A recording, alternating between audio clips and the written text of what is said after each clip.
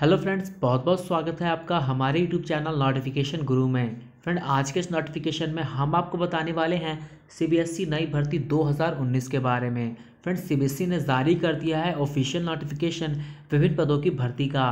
तो इसी के बारे में आज देंगे आपको सारी जानकारी स्टेप बाय स्टेप साथ ही आपको दिखाएँगे सीबीएसई के द्वारा जारी किया गया ऑफिशियल नोटिफिकेशन भी, ताकि आप समझ सकें इसकी पूरी जानकारी को और भर सकें इस फॉर्म को। तो फ्रेंड, वीडियो को शुरू करने से पहले अगर आप हमारे चैनल पर नए हैं और आपने अभी तक हमारे चैनल को सब्सक्राइब नहीं किया है तो हमारे चैनल को सब्सक्राइब कर लीजिए, बेल आइकन प्रेस करके ऑल पे क्लिक कर लीजिए, ताकि हमारे द्वारा आई हुई हर वीडियो का नोटिफिकेशन आप तक पहुँचे सबसे पहले और आप उसका लाभ उठा सके। तो फ्रेंड, चलिए वीडियो को शुरू करते हैं।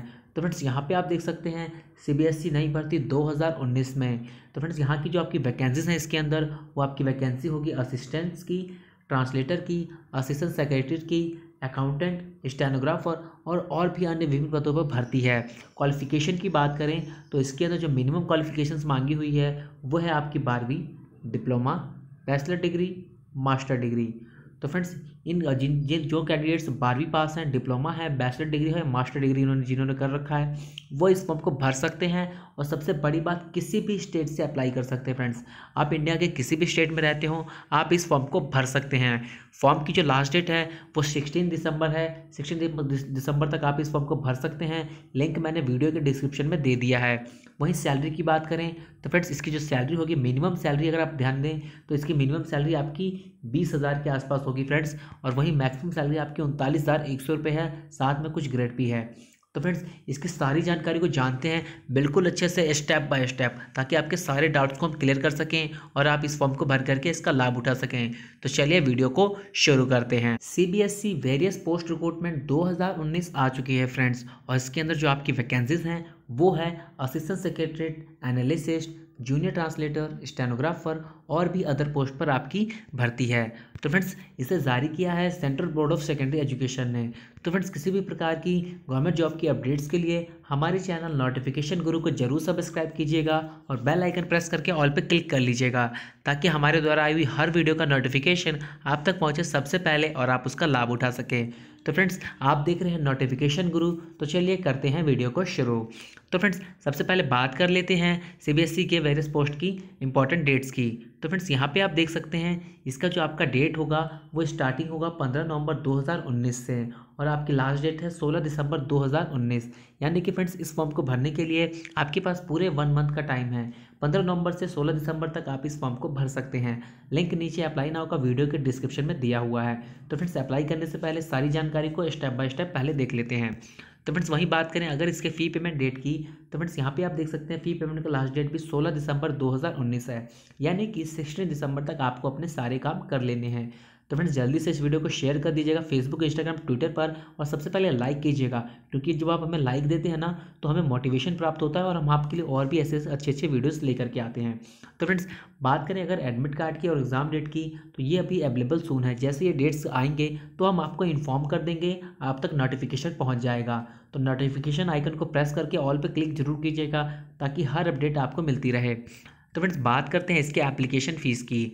तो फ्रेंड्स, यहाँ पे आप देख सकते हैं जनरल और ओबीसी के जो कैंडिडेट्स हैं, उनके लिए ग्रुप ए पोस्ट की जो फ़ी होगी, वो होगी पंद्रह सौ रुपये और वहीं ग्रुप बी और सी के लिए आठ सौ रुपये का एप्लीकेशन फ़ी यहाँ पे पे करना होगा जनरल और ओबीसी के कैंडिडेट्स को।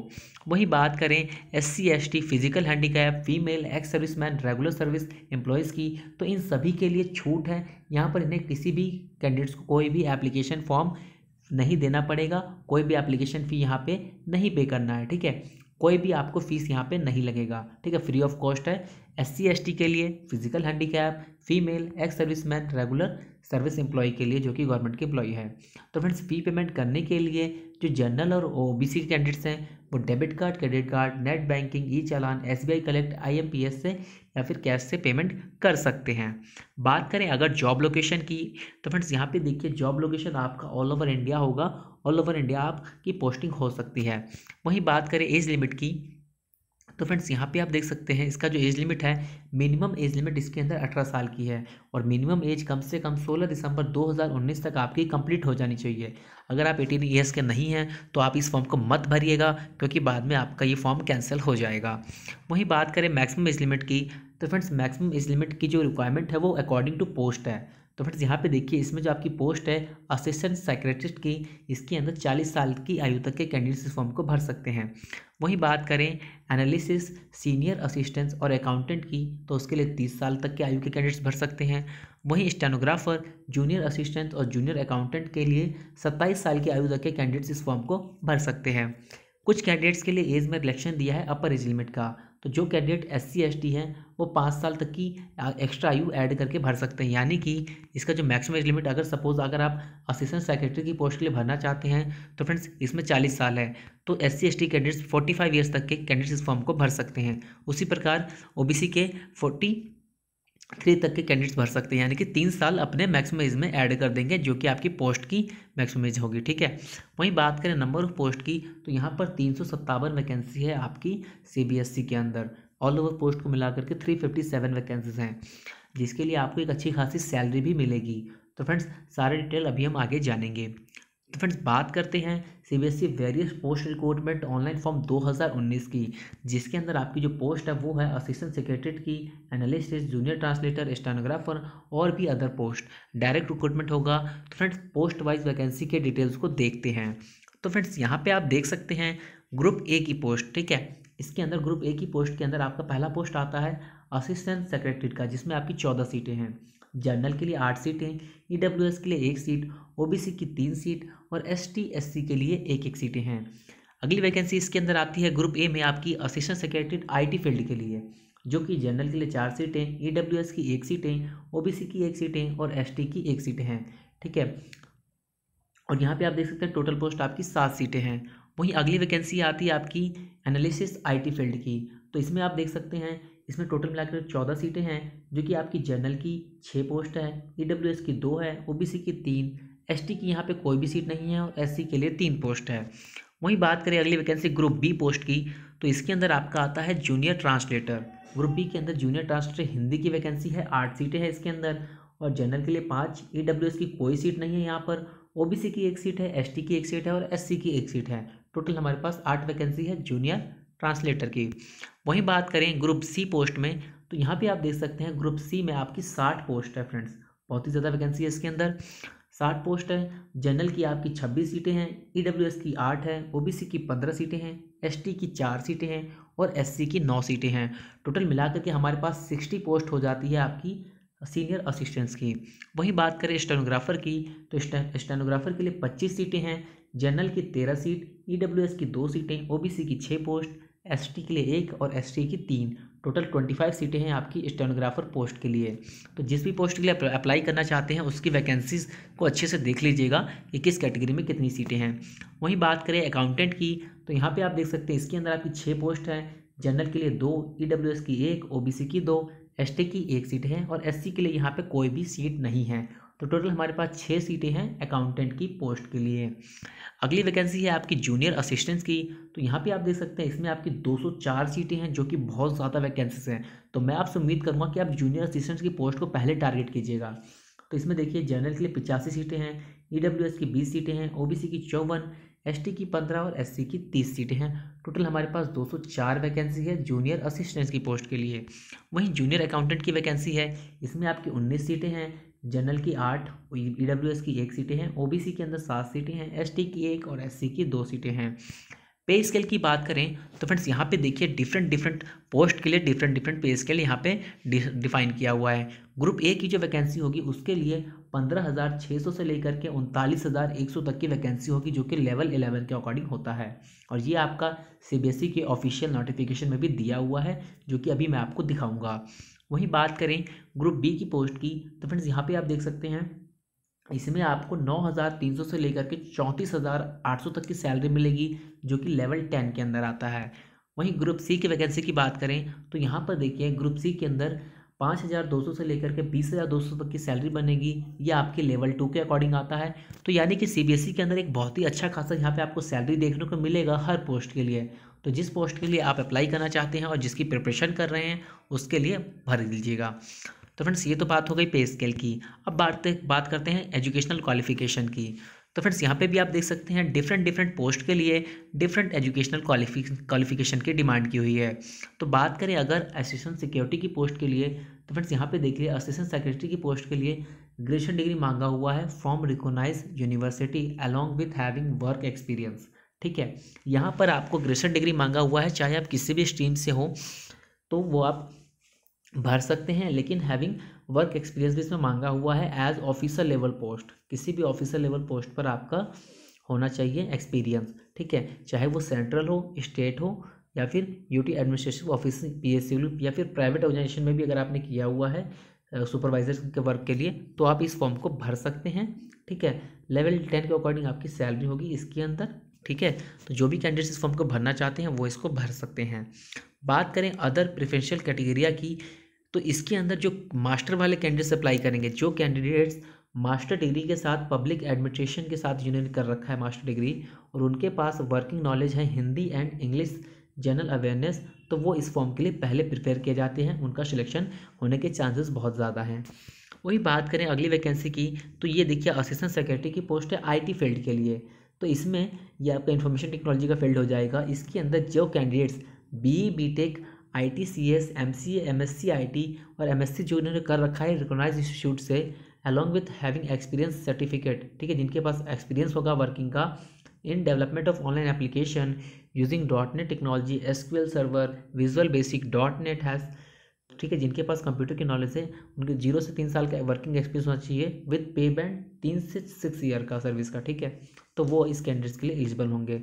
तो इसमें देखिए, इसमें भी कुछ प्रेफरेंस कैटेगरिया दिया हुआ है, यानी कि जिनके पास इंटरनेट टेक्नोलॉजी का एक्सपीरियंस है सॉफ्टवेयर इंजीनियरिंग और वेब डिज़ाइनिंग इक्वलेंट फील्ड्स के अंदर आपका एक्सपीरियंस है तो आपको पहले प्रिपेयर किया जाएगा। आपके चांसेस भी बहुत ज़्यादा हैं इसमें सिलेक्टेड होने के। तो मैं आपसे उम्मीद करूँगा फ्रेंड्स जो एलिजिबल कैंडिडेट्स हैं, वो इस फॉर्म को ज़रूर भरें। ऐसा नहीं है कि फ़ी के कारण या अगर पंद्रह सौ रुपये फ़ीस है तो छोड़ दें। आप इस फॉर्म को ज़रूर भरिए, अगर आपकी प्रिपरेशन बहुत अच्छी है तो इसको भरिए। बाकी मैं आपको इसका सिलेबस वगैरह प्रोवाइड कर दूँगा, ठीक है? कोई दिक्कत नहीं है। बात करते हैं एनालिसिस आईटी फ़ील्ड की। तो इसमें देखिए, इसमें भी आपका B B tech I T C S M C M S C M S C मांगा हुआ है, ठीक है? चाहे M S C I T हो या फिर नॉर्मल भी है तो आप इस फॉर्म को भर सकते हैं। इसमें भी आपका वर्किंग एक्सपीरियंस मांगा हुआ है development of online application using dot net technology SQL server visual basic dot net और फॉक्स प्रो के साथ अगर आपका वर्किंग है तो आप इस फॉर्म को भर सकते हैं एनालिसिस की पोस्ट के लिए अप्लाई कर सकते हैं, जो कि आईटी का फ़ील्ड है। वही बात करें जूनियर ट्रांसलेटर हिंदी पोस्ट के लिए। तो फ्रेंड्स यहाँ पे देखिए इसमें जो कैंडिडेट्स पोस्ट ग्रेजुएशन जिन्होंने कर रखा है हिंदी और इंग्लिश के लिए, ठीक है? किसी भी लैंग्वेज में किया हुआ है with Hindi and English as a main subject अगर आपका हिंदी इंग्लिश मेन सब्जेक्ट है, ठीक है? और आपने तो आप इस फॉर्म को भर सकते हैं। वहीं candidates having post graduation with Hindi English as main subject having diploma अगर आपके पास डिप्लोमा भी है, ठीक है? सर्टिफिकेट ट्रांसलेशन का हिंदी और इंग्लिश में तो भी आप इस फॉर्म को भर सकते हैं। साथ ही थ्री ईयर का working experience in translation field will be is for this आपको तीन साल का एक्सपीरियंस भी होना चाहिए ट्रांसलेशन के फ़ील्ड में। तो फ्रेंड्स अगली वैकेंसी है आपकी सीनियर असिस्टेंट्स की। तो इसमें देखिए, इसमें भी ग्रेजुएशन डिग्री मांगी हुई है with forty words per minute की टाइपिंग स्पीड के साथ। ठीक है? इन हिंदी और English on computer and having computer knowledge भी होना चाहिए as windows S web design equivalent अगर आप हैं तो आप इस फॉर्म को भर सकते हैं। इसमें भी देख सकिए, जिन कैंडिडेट्स के पास D O E S C C O level का सर्टिफिकेट है विथ थ्री ईयर्स का एक्सपीरियंस है रिवेलेंट फ़ील्ड में उस कैंडिडेट्स को पहले प्रिपेयर किया जाएगा। उनके भी चांसेस बहुत ज़्यादा हैं। सीनियर जो आपका पोस्ट असिस्टेंट का, इसके लिए अप्लाई कर सकते हैं। बहुत अच्छी जॉब है ये भी। अगली वैकेंसी आपकी स्टेनोग्राफर की है, यानी कि जो कैंडिडेट्स ग्रेजुएशन डिग्री कर रखे हैं with eighty word per minute in ten minutes ठीक है? आप अस्सी वर्ड पर मिनट के हिसाब से आप दस मिनट की आपकी शॉर्ट हैंड की स्पीड होनी चाहिए, ठीक है? पचास मिनट ट्रांसलेक्शन इन इंग्लिश और फिफ्टी मिनट इन हिंदी तो आप इस फॉर्म के लिए भर सकते हैं। वहीं अगली वैकेंसी है आपकी अकाउंटेंट की तो अकाउंटेंट में आप देख सकते हैं graduation degree in commerce B अगर आपने कर रखा है तो आप इस फॉर्म को भर सकते हैं। With work experience as official in P S U central private state organisation तो आप इस फॉर्म के लिए भर सकते हैं। अगर आपके पास वर्क एक्सपीरियंस है, किसी भी स्टेट प्राइवेट का हो या फिर गवर्नमेंट का हो तो आप इसके लिए एलिजिबल हैं, आप भर सकते हैं। बस याद रखिए ग्रेजुएशन होना चाहिए आपका बी कॉम से, ठीक है? अगली वैकेंसी आपकी जूनियर असिस्टेंट्स की। तो जिसमें बारहवीं पास के कैंडिडेट्स अप्लाई कर सकते हैं इस फॉर्म के लिए, जो भी बारहवीं पास के कैंडिडेट्स हैं, वो भर सकते हैं।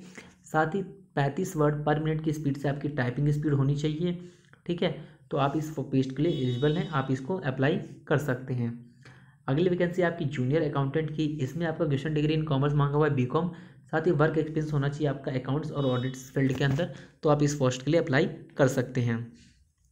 तो फ्रेंड्स अब बात करते हैं कि आपको कैसे अप्लाई करना है। तो फ्रेंड्स इस फॉर्म को अप्लाई करने से पहले आपको इसके ऑफिशियल नोटिफिकेशन को पढ़ना पड़ेगा, जिसका लिंक मैंने वीडियो के डिस्क्रिप्शन में दे दिया है। आपको उसके ऑफिशियल नोटिफिकेशन को पढ़ना पड़ेगा और अभी मैं आपको दिखा भी दूँगा, ठीक है?